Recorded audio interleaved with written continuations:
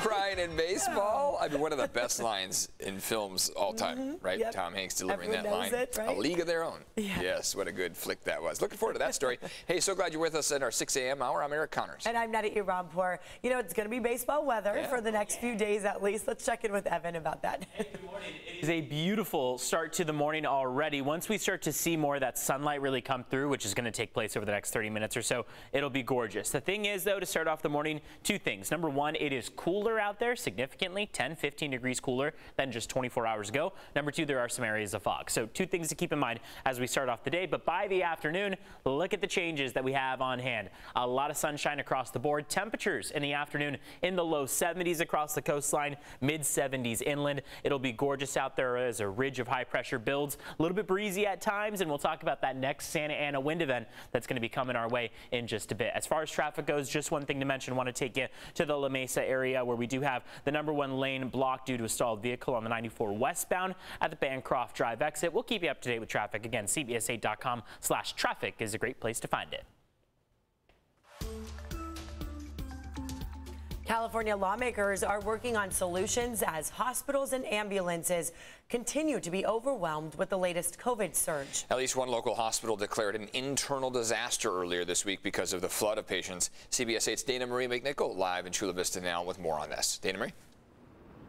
Good morning, Eric. Well, I'm here at Sharp Chula Vista where, yes, they did declare an internal disaster because 70 patients were overwhelming their emergency room. There was not one bed open in their emergency department. Now, they were able to end this emergency declaration because they moved patients into other departments. They do say they're out of the woods, but COVID patients continue to flood the halls. Now, this does come right as EMS workers from around the state of California come to talk to lawmakers this week about extreme extremely long wait times from their ambulances and when they arrive to hospitals when patients actually get a bed in that hospital.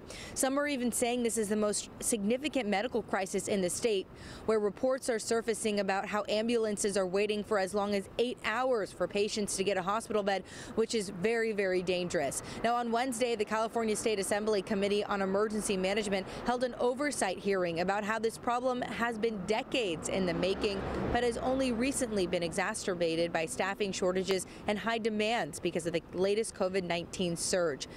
A Assembly member Freddie Rodriguez spoke about this at the meeting. People are waiting for ambulances. People are waiting for treatment at hospitals, and it shouldn't be that way, especially this day and age. I know there's a pandemic, but we need to elevate ourselves. What do we do differently so that way we can make sure that at the end of the day, people get quality care and service uh, when you're going to a hospital? Well, Assemblyman Rodriguez was speaking about what we can do differently. So some uh, solutions were proposed, like fining hospitals if ambulances were waiting more than 20 minutes. So they say that new legislation would really make a difference as these EMS rules and, and laws were established over 40 years ago. And of course, we're nowhere near where we were 40 years ago and not in a pandemic. So back live here in Chula Vista, we still know that internal disaster was declared um, resolved, but COVID patients are still over overwhelming their emergency department. I'm Dana Marie McNichol live in Chula Vista for CBS 8. So let's give you a closer look now at the situation here in San Diego. Officials are reporting just over 9,000 new cases. Nearly one in three tests came back positive over this past week. 39 more hospitalizations were reported, pushing that total above 1,300 people now. That's nearly quadruple where we were one month ago. Four more people were admitted to intensive care units, just under 200 people now in the ICU, and five more deaths were reported. The county is expanding COVID testing sites to help with increased demand. The newest one now at the Palomar YMCA. This is in Escondido. They can provide up to 800 tests a day. They'll be open Monday through Friday. Appointments will be required there. For the latest information on any stories related to the COVID pandemic, you can text the word COVID to the number on your screen. It's 858 571 8888. We'll send back a link directly to your phone. Well, a plan to add fencing along the train tracks in Del Mar is up for a vote here today. The North County Transit District says the goal is to reduce deaths and injuries. Yeah, but others don't want to restrict access to the beaches. CBS 8's Chris Grow joining us live in Del Mar to explain the controversy behind this, what's going to be happening. Good morning, Chris. Good morning. And that's really the fear that you're hearing from residents that are objecting to this. They feel like any type of fencing that goes along these tracks at six feet tall will sort of keep people from getting down to the beach. That's also a fear from the Coastal Commission as well too. But let's get to the root of this issue. When you drive down Del Mar Heights Road and into this coastal town, you can't help but miss these signs. It almost looks like election season down here. A lot of signs proclaiming don't fence us out. However, the North County Transit District wants to move forward to install a six foot fence on both sides of the train tracks out here. Now, many of you not in Del Mar may be wondering why. Why is this even an issue? Well, it's about safety. People use those tracks, they cross them to take a direct route to the beach, kind of where we are right now, 11th Street. This will be something where people will hop this barrier after parking down the road and then take this down to a direct line to go surfing. Now, people have been doing this for a long time. It is illegal though, and four people have died crossing the track since 2016. Remember, the coaster runs through here. The residents, meanwhile, believe that the fencing will hurt tourism and the town as a whole. Now, we spoke with John Stahl. He heads up the group organized to stop this fence. The group says that they would agree to a short section of fence where most of the deaths have occurred, but there are other solutions that would make the track safer. Better signage, better flashing lights, slow the trains down. Do the trains need to go through here at 55 miles an hour? And the Coastal Commission has weighed in, right? And they did write a letter that said, quote, fencing projects collectively have the potential to result in significant adverse impacts to coastal access and recreation. The commission actually wants both fencing and cliff stabilization studied together to try to find a comprehensive solution, to find something that works for everybody on all these fronts. Again, though, this will be voted on later today. Eric and Eric Netta. Chris, thanks for that. After more than half a century in law enforcement, San Diego Sheriff Bill Gore is retiring next month. Sheriff Gore began his career in 1970 with the FBI. He worked there for more than three decades before moving to the San Diego County District Attorney's Office. He was later appointed sheriff in 2009. The County Board of Supervisors will appoint an interim sheriff in March.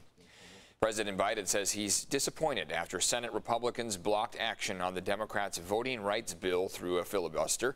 Senate Democrats then put forward a vote to change the filibuster rules, but that attempt also failed. The president says the Senate, quote, failed to stand up for our democracy. And today marks one year since President Biden took office. He marked the occasion with a two-hour press conference and vowed to continue fighting the pandemic. Some people may call what's happening now the new normal. I call it a job not yet finished. It will get better. The president acknowledged some of his successes, but with an approval rating that has fallen 17 points since taking office, the president promised to keep working on his agenda.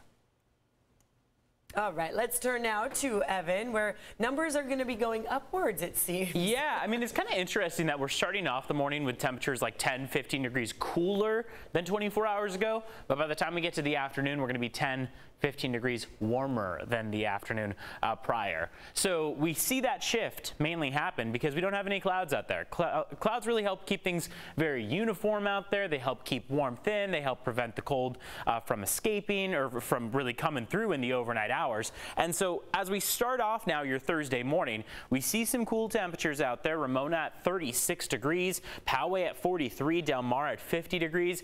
But these temperatures, although much colder than yesterday, are going to translate to much warmer highs by the afternoon. 16 degrees colder right now in Ramona as we speak than 24 hours ago. 11 degrees colder in Oceanside and in Del Mar. So watch what happens by the time we get to the rest of your day. 2, 3 p.m. We're going to be seeing widespread 70s in the forecast. Uh, 60 across your mountaintops, mid 70s for the deserts. Today, the Santa Ana wind event that began last night is starting to die down. So we're seeing those winds come to a halt. However, breezy still over your mountaintops and your inland valleys. These are the two spots where wind is still very significant to start off the morning. The reason why, of course, we talk so much about those Santa Ana winds is because it's not necessarily a good thing to channel a ton of dry, warm air towards Southern California. We know what our trouble looks like as far as fire danger goes, so it's something we consistently keep an eye on. However, right now it looks like the more significant wind event is going to take place late Friday into early Saturday. Today we've been okay so far, and we're going to see those winds die down through the rest of it. San Diego today, again, a lot of sunshine in the mix, mid 70 degree temperatures,